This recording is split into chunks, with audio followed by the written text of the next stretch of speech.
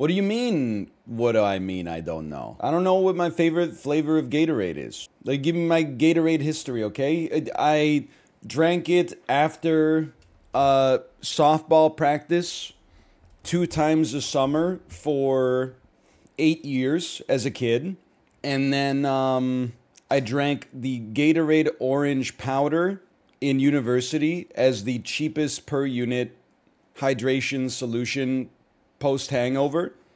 So I wouldn't really trust my uh, I wouldn't trust my my taste buds in that situation, though that was consumed under duress. And then I consumed an entire uh, container of Gatorade Arctic Blast light blue powder when I had salmonella and uh, campylobacter. So again, I, I consumed it under duress. I didn't consume it for taste based reasons.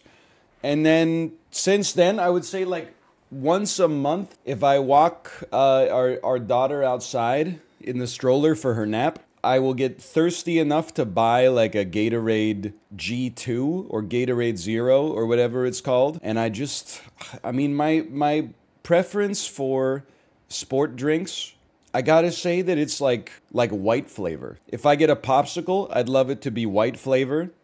A freezy, I don't know if you do if you call them freezies in America, but like uh, an ice pop, I want it to be white flavor. A Powerade, a Gatorade, um, all that stuff. I don't I don't know what flavor it is. It's like a melange of, of different fruit acids. I'm a big watermelon guy too. Like if I'm getting a, a coconut water or something like that that has flavoring added, I'll take a watermelon. Or can I tell you, you don't see it that much, but you know what hits crazy?